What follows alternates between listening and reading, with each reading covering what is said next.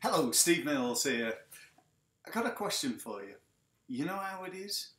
You know how it is when you're in a meeting and somebody's trying to sell you something, you know, they're they're pitching their products and you're you're listening intently and they're talking about how they can help you to, you know, reduce costs, increase sales, uh, become more effective, save time, um, you know, lose weight or improve your fitness or build your whatever. But they're, you know, they're, they're presenting all the benefits, all the reasons, and all the things that they say that they can do. But deep down, there's just something making you think, do you know what? I'm really not sure about this person. Not that they're, I don't trust them, it's just that I don't trust them enough to give them my money. And I, I think that comes down to sort of one word, and that is credibility. And, and for me, one of the biggest problems that I see with small businesses is that they're lacking in credibility. And, you know, what do I mean? Well, I mean that, you know, they come along and they'll tell you how great they are and that they're, you know, they're, they're, you know, the best at what they do. And yet you have a look at their business card. Mm, do you know what? It really doesn't say that.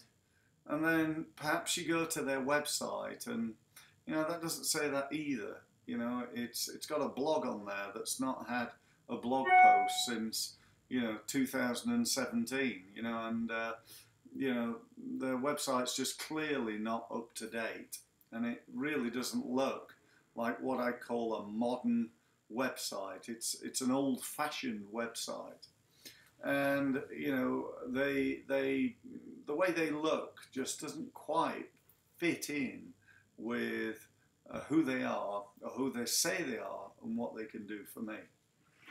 I will always remember, you know, uh, I attended a networking event and I met an, an IFA, Independent Financial Advisor. And at the end of the meeting, we'd got on really well. We were sat next to each other. And at the end of the meeting, um, he sort of put a bit of a pitch on me, you know, and he said, Look, uh, we got on great, Steve, and I, I, you know perhaps I can come and have a look at your finances and see if I can help you in any way. And I, slightly reluctantly, because I wasn't really sure, I said, okay. Now, we walked out of the building and we shook hands in the car park. And I went off to my car, he went off to his car. And I happened to notice the car he was driving. And he was driving a car that was probably worth about £150. Now, you know, perhaps it was his daughter's car or his son's car. Perhaps his car had broken down and he'd loaned a car from a friend, or perhaps there were loads of other reasons why he was driving around in a £150 car as a financial advisor. But for me, that just like he went, he, he totally and utterly lost all his credibility, you know. And you know, for me, I want my financial advisor to be seriously wealthy. You know, I don't want somebody who's driving around in a 150 pound car advising me about finances. Now, you could argue that, well, you know, perhaps he's very astute and thrifty and, you know, he's all about saving money and so on and so forth. But, you know, certainly for me, that totally and utterly put me off. And uh, I cancelled the meeting. So, what's the point in telling you that story? I, I want you to take a look at you. I want you to take a look at you in terms of how you dress, what you wear, how you look, uh, your sort of I call them your marketing materials, but I'm thinking of things like your, you know, the pen you use, the pad, you know, if you're making notes and things. Um, I don't know, maybe your um, uh, your business card, certainly things like that. Your your your marketing paraphernalia.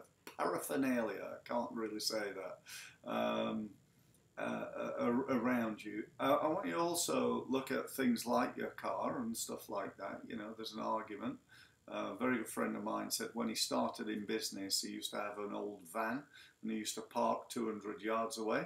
He's now got a brand new Ferrari and he still parks 200 yards away.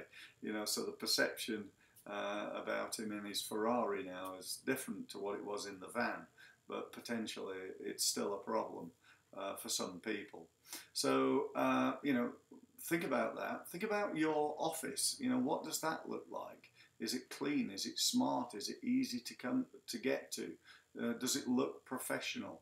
What do the, your team look like? You know, are they uh, do they look professional?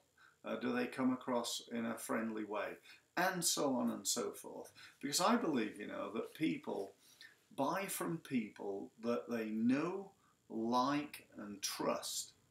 And they also buy products that they know, like, and trust. And they also buy from companies that they know, like, and trust. So, my question for you, or questions, are these. On a scale of 1 to 10, with 1 being poor, 5 being average, 10 being couldn't be any better, how good are you and your business at getting people to know, like, and trust you? So if you took you, for example, you know, there's various things you could do to improve how much people know, like, and trust you. You take your products. Is there a way of getting your products in front of people so that people know, like, and trust your products? And what about your company? Could you do the same thing there? If you take a look at a company like, for example, Apple, you know, they're masters at this. You know, I, I go in the Apple shop and I know Apple, you know, one of the most famous brands in the world. So it's a big tick there.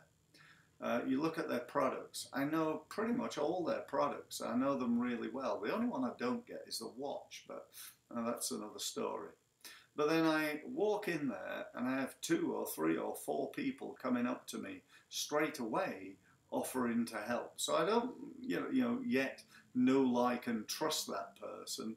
Uh, but one thing I will tell you about going into an Apple store, if you've never done it, is that the people in there, well, firstly, there are people in there, uh, and so you're not waiting around for 20 minutes trying to find somebody to serve you. Secondly, those people are really highly skilled and highly trained. And, and, thirdly, the customer service is absolutely fantastic. So they're, they're getting a 9 or a 10 from me uh, on, on all those counts. And, you know, I would never go anywhere else. I'd never buy anything other than an apple. Why would I? Uh, and so, you know, think about that as uh, a metaphor for you. Getting people to know, like, and trust you, your products, and your company. Thank you ever so much for listening, and uh, if I can help you further, I'd love to do so. And we can uh, be contacted at www.stevemills.co. Thanks very much for listening.